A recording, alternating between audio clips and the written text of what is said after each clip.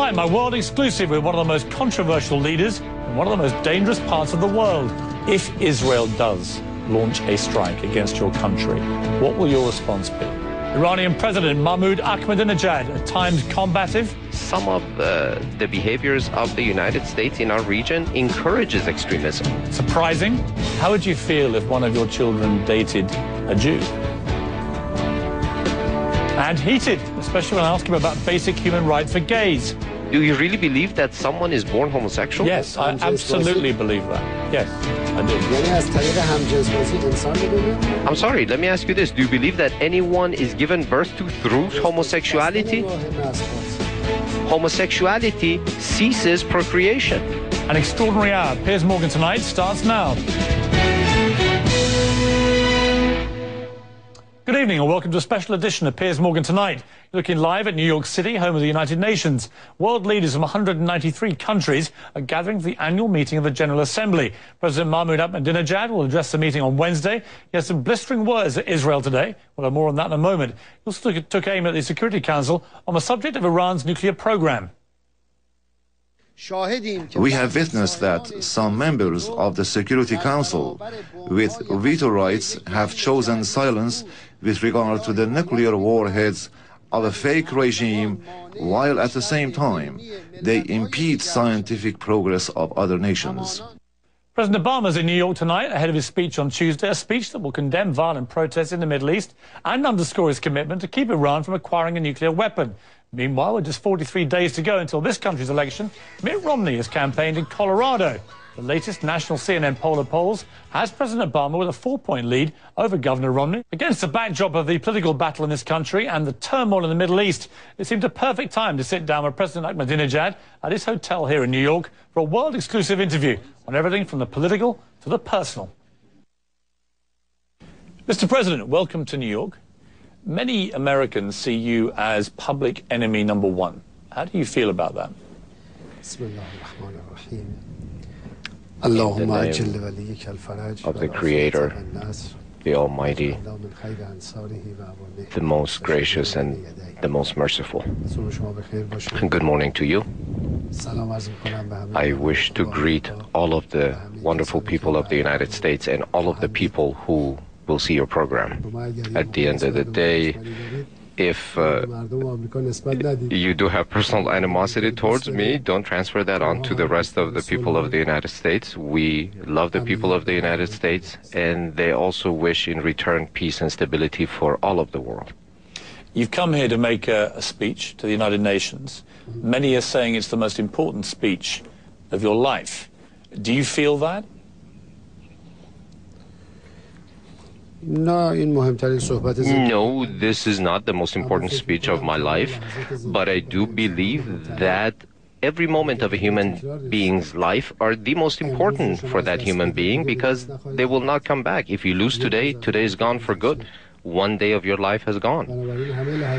Therefore, every moment counts. Every moment is important. Uh, I have been coming to the United Nations General Assembly for eight years now, seeking progress and friendly relations with all nations, and the objective is still the same.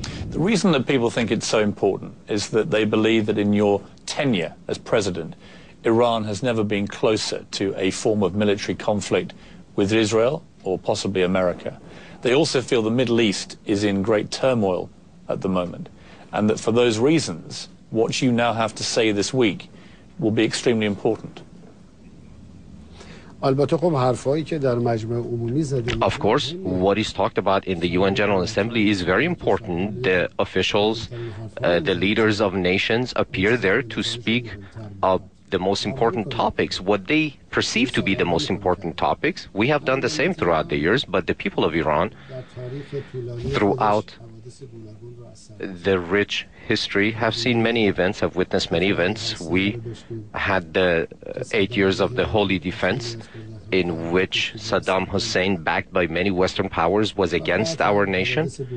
And then we witnessed many other events. Uh, about 10 years ago, perhaps, Iran was under direct threat.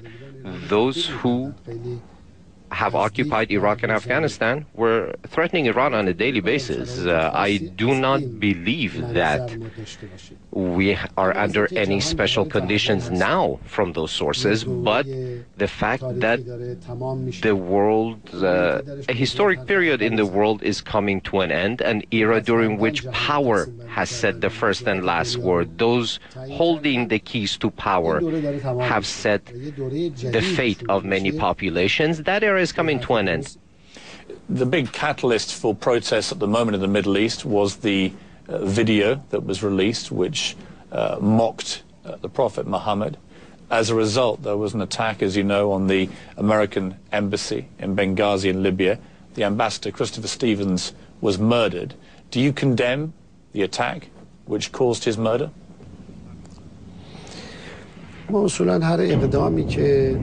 Fundamentally, first of all, any action that uh, is provocative, offends the religious thoughts and feelings of any people, we condemn.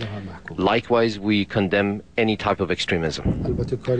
Of course, what took place was ugly.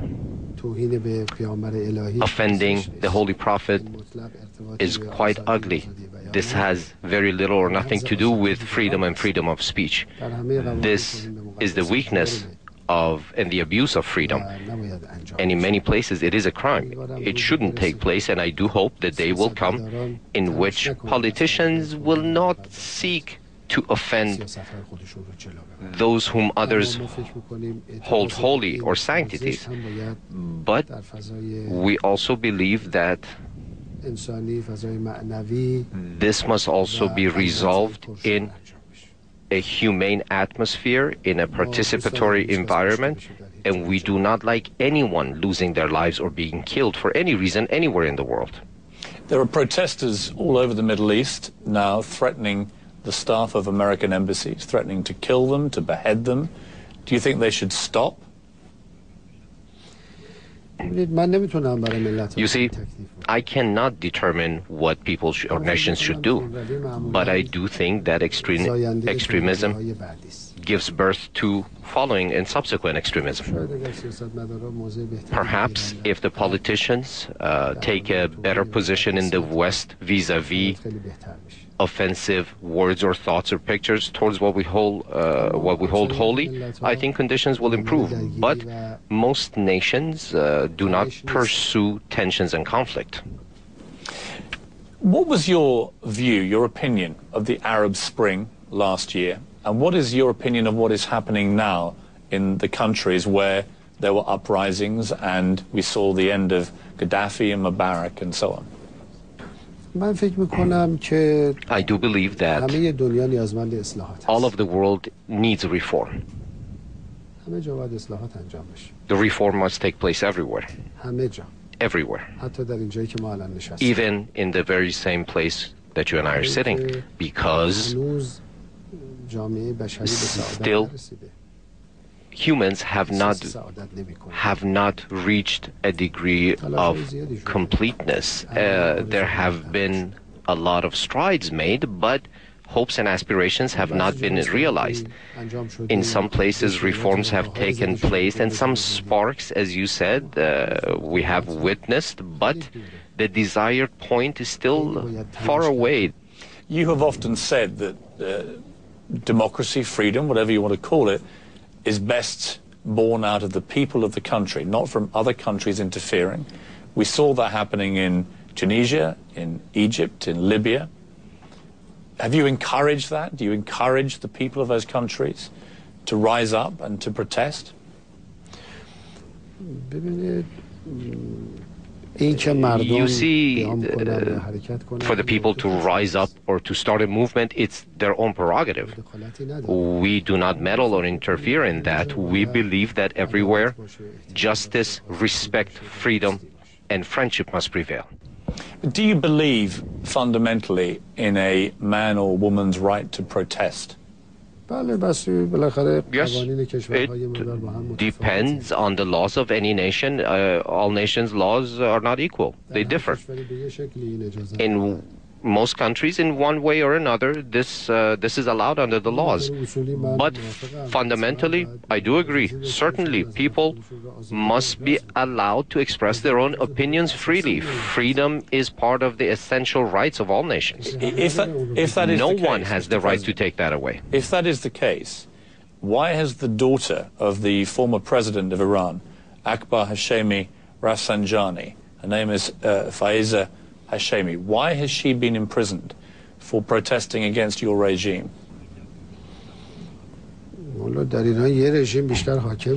In Iran, there is only one regime, uh, so uh, perhaps uh, they're protesting against that. Uh, and in Iran, the judicial branch is not under the power of the government, of the administration. They have their own laws, and that's what they follow. And we have no interference in that. And the government has paved the way for the highest form of freedom uh, for all people. And you see that comfortably people criticize, people sometimes trespass the borderlines of uh, proper protest, and they insult uh, uh, one another. As a president, I'm in the middle of the people of Iran without drawing any borders, without drawing any red lines, and we converse. Right, but I mean, this isn't this isn't just any protester. I mean, this could be your daughter in the future. She is the daughter of your predecessor, the president. It's a fairly significant moment that she has been imprisoned. Do you feel uncomfortable that, that this lady is in jail? ببینید دو تا موضوع رو از هم جدا بکنید You see, let's separate the two arguments, uh, the این two که من topics. دوست دارم کسی Uh, بره The fact زندان that نه. whether I'm happy at anyone going to prison, no, never. هیچ کس نره زندان Never, no one should go to prison. اما این مطلب But هم توجه داشته باشید که Also در هر keep in mind کشوری that in any country, همه باید در برابر قانون مساوی باشن. everyone must be treated equally under the laws. no one must have special must receive special treatment because of having been a part of the power structure. Regardless of whether the action taken that resulted in imprisonment was right or wrong. I'm not a judge of that. When we come back, I asked President Ahmadinejad what he thinks he will take to stop the bloodshed in Syria. And you'll hear his controversial views on 9 11.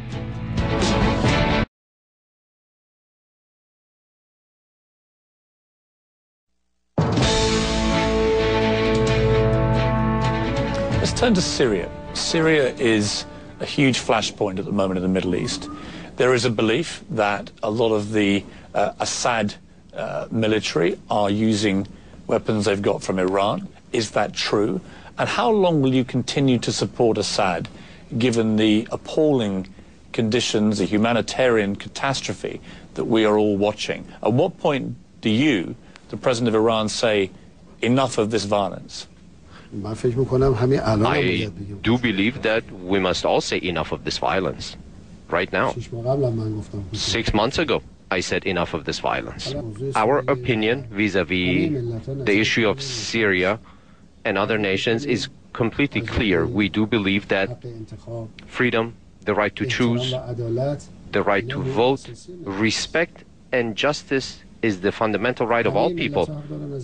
All people must obtain these rights. No one has the right to restrict a people, a nation. But we believe, as a friend of nations, we must help the nations around the world to obtain these rights through peaceful paths, through peaceful actions. And we have worked hard I am now hard at work to organize a contact group in order to bring the two sides in, to a point of national agreement.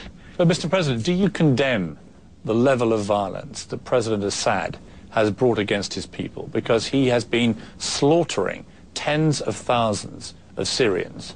If, as you say, you are a man of peace and you believe in a, fundamentally someone's right to protest, this violence has to stop. Have you told President Assad it has to stop. I am stating my opinion quite clearly. I cannot interfere in the internal matters of Syria, but I can announce my opinions. And we are seeking uh, an understanding. Some have uh, been working hard to supply weapons to the opposition the government is also equipped to enter this conflict, and based on the foundation that some pursue to resolve issues through military intervention, we completely oppose that doctrine and thought and way of doing things. We do believe that things must be resolved through dialogue without any outsiders' interference. Many encouraged these clashes. Many and even I, as a nation or myself as a president, I said to many countries directly that you are encouraging these clashes. That government is an independent government and it will defend itself. They did not accept this. Some furnished weapons, and when clashes start, no one displays any mercy. They kill, the other side kills in return, and it never stops. Is Iran selling weapons to the Syrian government? And if it's not selling weapons, are you aware of Iranian weapons being given to the Syrian government? I believe that there are many ahead of uh, a line in supplying weapons to sides, uh, and we would never reach our turn. And it's quite clear who those individuals are, who those countries are. Were you pleased that Osama bin Laden was killed by American Navy SEALs on the instructions of President Obama? I would have been happier to see a transparent trial, a formal trial, and find out the root causes of all of the events of the last few years. You have been reported as saying that you believe it is possible that the American government were partly responsible for the events of 9-11. That caused a huge outrage. Do you stand by that position? Of course, the polls taken inside the United States show that over 75% of the United States population uh, are still somewhat nebulous about the real reasons of that event, of those events. What I said were a number of questions. An event has occurred due to that two countries have been occupied. And the conflict still continues. Every day, hundreds of people in Afghanistan, Pakistan, and Iraq are killed. Would it not have been better to have a more precise analysis and find out the true in-depth reason of the events of September 11th, make that trans make those findings transparent to the populations and the nations across the world and then have a response in unison. Of course the expense would have been much less. Do you know how much has been spent during the Afghan and Iraq war? a considerable amount of money. But let me ask you this, Mr. President. If nearly 3,000 uh, uh, Iranians had been murdered in the way that Americans were on 9 11 in Tehran, how would you have reacted to the country that you believed had done that? So you're saying that the country of Afghanistan was at fault? was responsible. So you're seeing the responsible party as a whole nation? I think it is inarguable that Al Qaeda and Osama bin Laden's uh, men that worked for him were training in Afghanistan. So Afghanistan was certainly knowingly harboring terrorists who were training to commit atrocities. I believe that you can, under no circumstances, justify the condemnation and the attack upon a country in order to reach a single terrorist group. And I do believe that no matter how long you and I or other people speak, this is unexplainable. Allow me to ask you, do you believe that the various administrations of the of the United States were successful in eradicating terrorism? they haven't been. Has the problem been resolved or has it gotten worse? Well, it's hard to say. I think my, my so the approach was wrong. My, my answer, the formula my answer wrong. would be clearly it has been partially successful in the sense that Al Qaeda has been unable to commit another attack of that magnitude since. And again, I come back to if you were the president of Iran and that attack uh, happened in Tehran, it wouldn't have been acceptable to your people for you to do nothing. Not at all. Surely we would have pursued the perpetrators, not, not to seek an entire nation. But I ask you this during the last 10 years, during the last decade, how many American forces were lost and killed in Afghanistan and Iraq? Even today, even right now, they're still losing their lives. Has the situation improved? Clearly not. How can you say that it has improved? Now the activities of the terrorists have trespassed into the borders of Pakistan. In Iraq and Afghanistan, over a million people have been killed and, or injured. We are incredibly saddened that over 3,000 people were uh, killed in the United States. The Iranian government immediately condemned those brutal attacks. And I told you, we are against even the killing of one individual. Why should human lives be taken, innocent humans, anywhere in the world? But in order to avenge the blood of 3,000 people, a million people shouldn't give their lives. Some of the, the behaviors of the United States in our region encourages extremism. Perhaps because they don't know the people. So they do need to reform their behavior. There was no need for five or six thousand U.S. young men and women to lose their lives. Coming up, President Ahmadinejad's provocative opinions on Israel. He tells you what he really meant when he called for the country to be wiped off the map. More of our exclusive interview.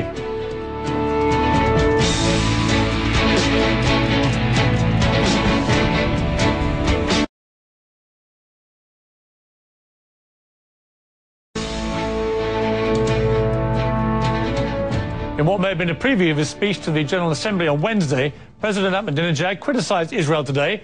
Speaking to reporters, he said the nation has, quote, no roots in the Middle East. He was also contentious with me when we discussed Israeli-Palestinian relations. Let me turn, Mr. President, if I may, to Israel. You have been condemned uh, very vociferously in America for a comment that you are said to have made that you wanted Israel to be wiped off the map, wiped off the face of the earth. There have been many different interpretations of what you said. You have disputed the meaning that was then translated from the original Farsi. Let me give you this opportunity to say exactly what you did say and to say exactly what you did mean. We have been condemned in the United States for many things. For having deposed a dictator with a revolution, for having sought freedom and free elections, for not allowing our oil and national treasure to leave our country freely, in, for having stood up to very dangerous terrorists in the region, for having stood up against Saddam Hussein, who enjoyed the backing of many. We stood up against him and did not allow the occupation of our territory. We have been condemned for a great many things.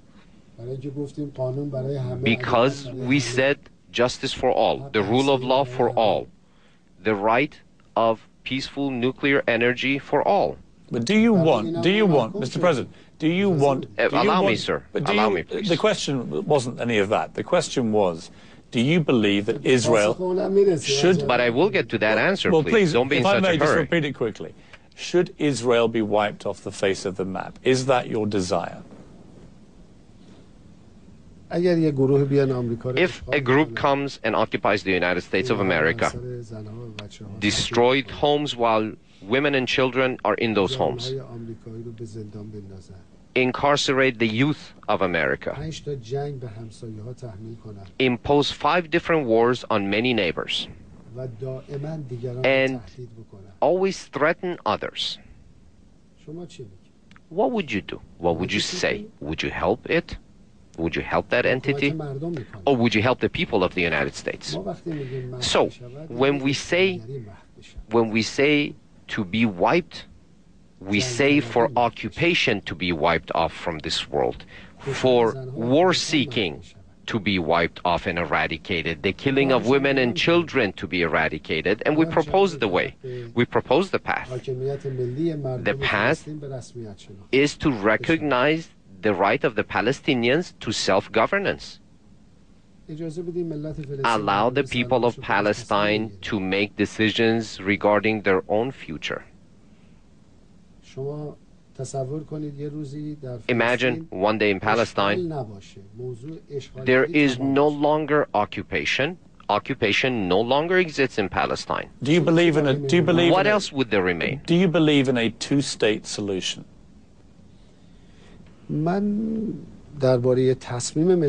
About the decision of the people of Palestine, I cannot express uh, an opinion. That is their prerogative. But the people of Palestine must be allowed by everyone and helped by everyone to allow them, to give them the right to choose for themselves to choose their own future. If they, agree, if they agreed, Mr. President, if, they, if the Palestinians agreed say, a deal with the Israelis, which recognized a two-state solution, would you then recognize the state of Israel? If the state of Palestine was accepted by the international community, would you accept a two-state solution? But before that, allow me, allow me to say something. I believe what is our common responsibility, all of humanity, must help to end and eradicate occupation. Bullying, eradicate bullying. No longer impose or meddle in the internal affairs of anyone. There are about 10 million there is a 10 million strong Palestinian population. We cannot impose their will on them, allow them to choose for themselves. Whatever their choice is, we cannot express or impose our opinion on them. But it's important for occupation to come to an end, for allowing occupation to come to an end right, so that the that. people but, but of if, Palestine but, can have the, the, right to self-determination. I understand it, but if the Palestinians were to reach a peace Allow me, deal, sir. but, but I'm, I'm assuming that there is a deal. If they agree a peace settlement, would you, as president of Iran, recognize the state of Israel, because that would be a very significant contribution to the peace settlement if you did. I think there are many choices in question here. You seem to prefer only one choice, only one avenue, and want to ask me my opinion on that.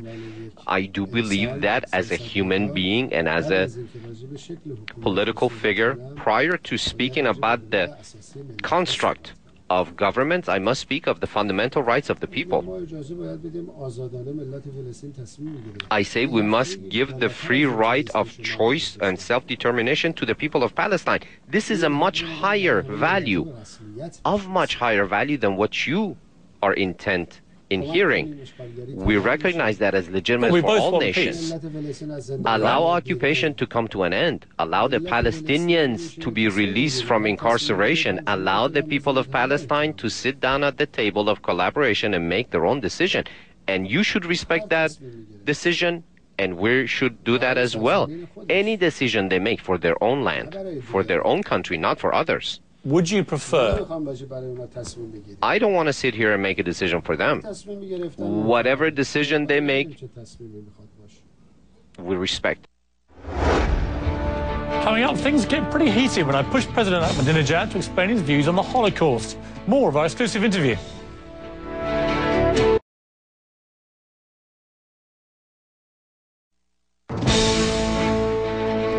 back with my exclusive interview with Iranian President Mahmoud Ahmadinejad. When it comes to asking him questions, there's no such thing as an easy answer, especially when it comes to the Holocaust. Do you believe that the Holocaust happened? Because many Jews believe that you do not think it happened, and they have a view of you because of that. The historic event that you spoke of, I have two questions. I had Two questions for quite some time. Never received an answer to either one. اجازه میدن درباره حوادث تاریخی تحقیق Everywhere they allow a certain amount of research of looking into historical events. ممنوعیتی اعمال میشه، Whenever there are obstacles placed on this path, then a question mark or two will arise. Why such obstacles? What are the questions that you have about the Holocaust? چه سوالهایی دارین؟ در اروپا Why ممنوعه in تحقیق Europe درباره این حادثه. has it been forbidden for anyone to conduct any research about this event? Why are researchers in prison? There's been extensive research into the Holocaust. It is indisputable that over six million Jews were annihilated by Adolf Hitler and the Nazis. The, the question is, do you dispute that six million Jews were killed. Do you believe in the freedom of thought and ideas or no? I believe in facts. And the freedom of research, do you believe in that and allow that or no? I believe in all that. Two times also, two equals what? Mr. President, that's two not, times that's not the question I'm asking you. I'm asking you whether you believe you're a scholar, you're a very intelligent man. Do you believe that six million Jews were annihilated by Adolf Hitler and the Nazis? Do you believe that as a fact?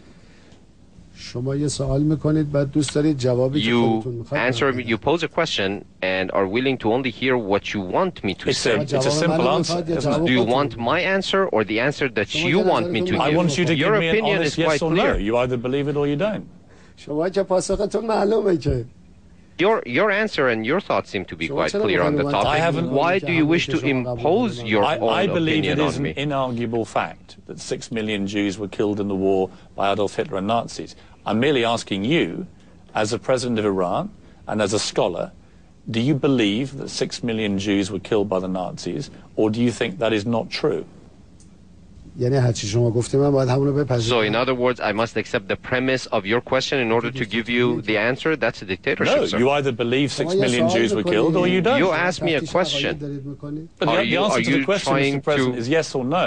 impose yes, I your believe it. ideas? No, I don't. I'm not imposing any ideas. اجازه شما پاسخ Allow me, بدید. sir. ببینید. I'm Allow not me, sir. imposing any شما دارید ideas. تفتیش عقاید میکنی از So, من. you see, what you're doing is شما you're چه کار به عقیده من دارید is you're seeking a حادثه response based on my جنگ thoughts. دوم Why do you even care the origin, what the origin of my thoughts are. The result the of the events of the Second the World War is led to the occupation the of a territory. It's important to clarify. The reason I care is because part of your reputation in America the damage to your reputation amongst Americans is because they believe that you questioned the validity of the Holocaust. So I'm simply asking you to state very clearly and simply whether you believed over six million Jews were killed by the Nazis in the war or not? And the answer is either yes or no. It's not a difficult question. I thank you for caring so much about me. Uh, and I do believe that it is commonplace for someone, for an interviewer, to pose a question and wait for the proper response to be completed. If you keep on to interrupting me, it's not an issue. It's your show. Here you are, and there is the camera. Please, Speak to your heart's content. Forgive me for my impertinence. I, I will allow you to answer in any way you see fit. بالاخره نباید اصرار داشته باشید که من Uh, همون رفتاری you must بکنم که not شما انتظار دارید. Insist on receiving the proper, the what you see as the proper answer or behavior من هیچ from me. قضاوتی نمی‌کنم درباره I pass no حوادث judgment تاریخی. about historic events. محققین I باید say آزاد باشن research, راجع به تمام researchers and حوادث scholars تاریخ must be تحقیق free to conduct research and analysis about any historical event کنن. با نظر موافق و مخالف داشته باشن and have uh, contrary opinions, pro and cons. This, this should not have led to setting up of new confines and borderlines throughout the world and classify some as good, some as bad. Why should a researcher be put in jail? One question. Question number two. Let's assume your parameter is right, your question is right. Your assumption is that this event took place. Where did it take place? Whom were the individuals responsible for this event. What does this have to do with the occupation of Palestine? What role did the people of Palestine play in this event? These are very clear and transparent questions, sir. The third question I have. If a historic event If a historical event has indeed taken place, why so much sensitivity surrounding it by politicians? If I may, but Mr. this has already come and gone. This let me let me move, let me move on because I know that time is time is short. Let me move on. Everyone knows time is, time is short. the answer Prime Minister to these. Netanyahu has been making it very clear that he believes Iran is developing uranium now with the specific purpose not to help people with cancer, as you would say, but to have a nuclear weapon. And he is also indicating that, it, uh, that Israel may take some preemptive strike against Iran. If Israel does launch a strike against your country, what will your response be? The response of Iran is quite clear. I don't even need to explain that. Any question and any nation has the right and will indeed defend herself.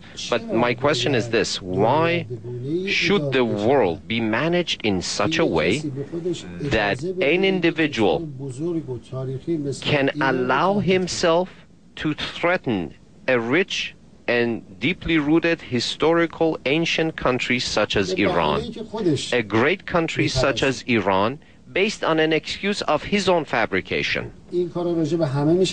So anyone can do this. Another country can say, I am guessing that country B is doing activity X, therefore I will do you fear? Do you fear, I Mr. President, that attack war, that country? Do you fear, Can this be understand, but do you a fear, successful formula for the management of the world? Do you fear that war is imminent? Do you fear that there will be military conflict, perhaps even before the end of this year, between your country and Israel? Of course, the Zionists are very much uh, very adventuresome very much seeking to fabricate things, and I think they see themselves at the end of the line. And I do firmly believe that they seek to create new opportunities for themselves and their adventurous behaviors. Let, let me ask you this. There is an American election coming in November. Uh, who do you prefer to win that election, Barack Obama or Mitt Romney? And the reason I ask you is that Mitt Romney has been much more aggressive in the language he has used against your country than Barack Obama has. I do respect the right uh, to free elections for the people of the United States. This is the right of the people of the United States. Were you happy with what Mitt Romney said about Iran? I, uh, I said that I really don't want to express an opinion, but I do believe that unilateral behaviors and unilateral ways and bullying ways throughout the world are coming to an end. Everyone in the world must embark upon a path of friendship, must seek humanity, human values, and logic. And uh, this is something that will govern the world. President Ahmadinejad has famously claimed there are no homosexuals in Iran. When we come back, you'll hear what he told me when I asked if he believes that people are born gay.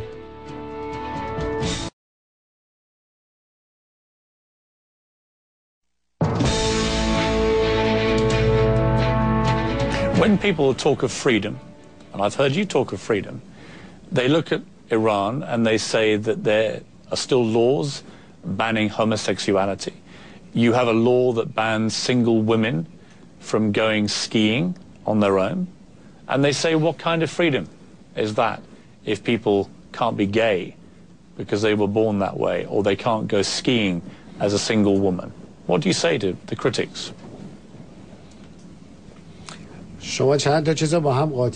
Now you have managed to mix uh, a number of things here. Uh, for a single lady to go on a trip to go skiing, is that uh, is that forbidden in Iran? Who has told you that? It's not forbidden. I'm hearing it from you. It has been widely reported that you brought in a rule that said single women couldn't go skiing. Are you now telling me they can?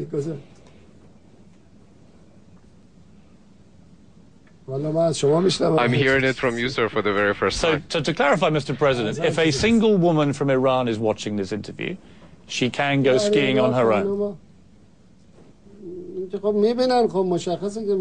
Of course they see this program because it's broadcast in Iran. Right, so it is perfectly okay. You are happy. Allow me, sir. For single women to go skiing. Allow me.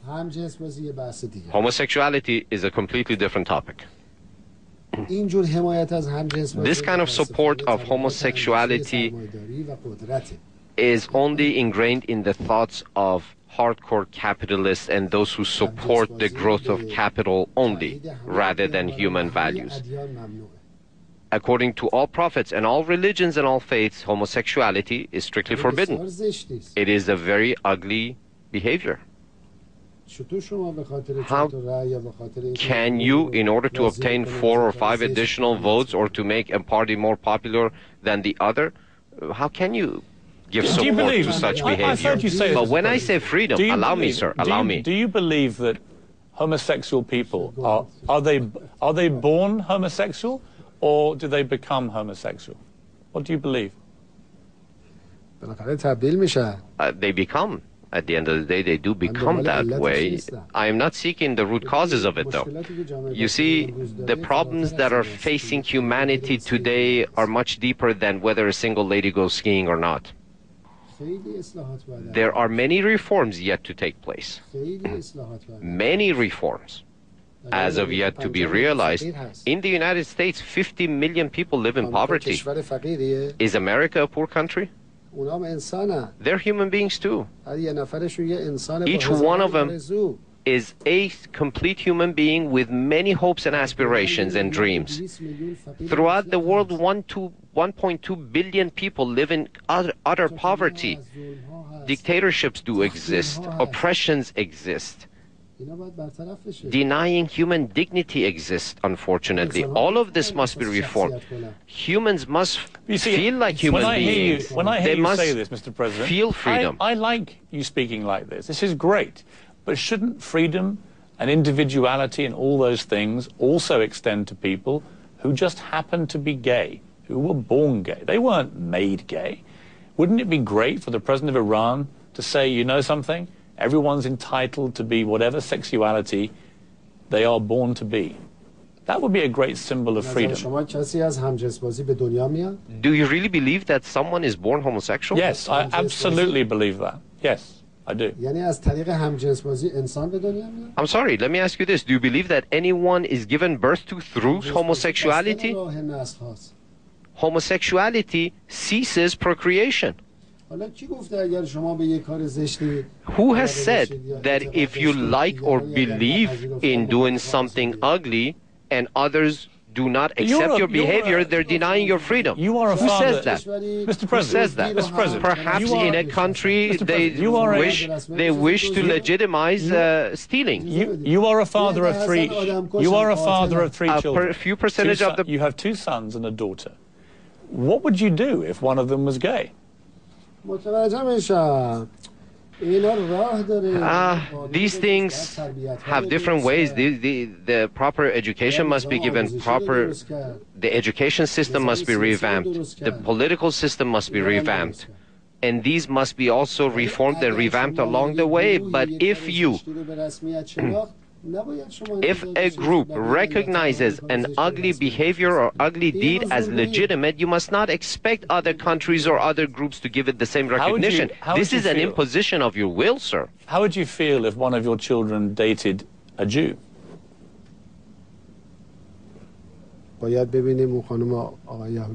I would have to see who that Jewish man or woman would be I see love amongst people as completely acceptable. There are many Jews living in Iran with whom we're very close. There are, there are some Muslims that marry into Jewish families so or marry Christians. I, we have no such problems. See, people will be surprised. People, people will be surprised you say that, Mr. President. They will like you for saying that. Of course,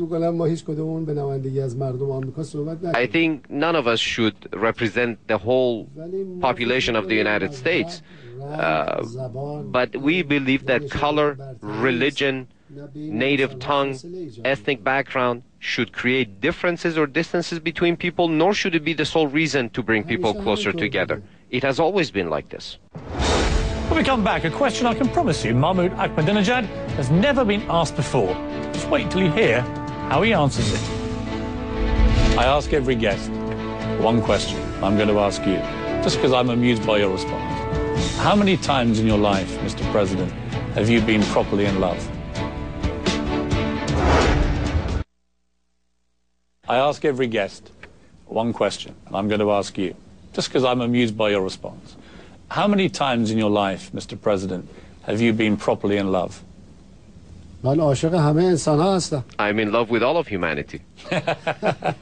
عاشق همه هستم I love all human beings. خانواده خودم. That might be the But best in answer I've ever particular, I had to love that question. members of my own family, of course, like any other human being. That's probably the best answer I've had to that question. You can't beat the whole of humanity. Mr. President, thank you for your time. God bless you. I wish you success. Thank you, sir. That's all for us tonight. Tomorrow, another leader who's known around the world. I sit down with former President Bill Clinton to talk about his post-White House mission and about the role he's taken on in President Obama's re-election campaign. That's President Clinton tomorrow night. AC360 starts now.